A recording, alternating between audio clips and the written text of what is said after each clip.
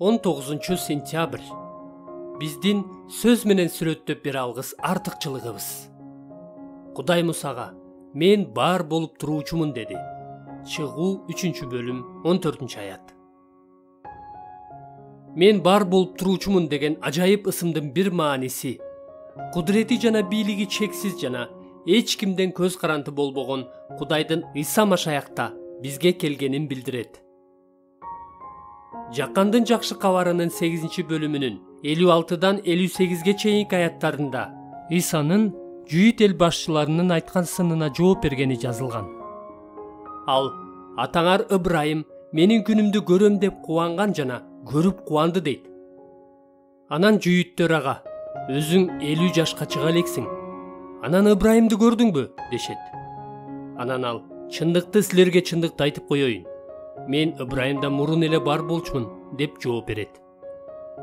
Ыйса өзүн көтөрүш үчүн айткан мындан өткөн сөз барбы? Ыйса мен ыбрайымдан мурун эле бар болчумун дегенде кудайга тиешелүү ажайып чындыкты камтыган ысымды толугу менен өзүнө алып аны кулдун момундугу менен чулгап козголоң чыгарган биздин күнөөбүздүн кунун төлөө үчүн өзүн курмандык катары сунуш кылган жана бизге кудурети жана бийлиги чексиз жана эч нерсеге муктаж болбогон кудайдын даңкын коркпостон көргөнгө жол ачкан.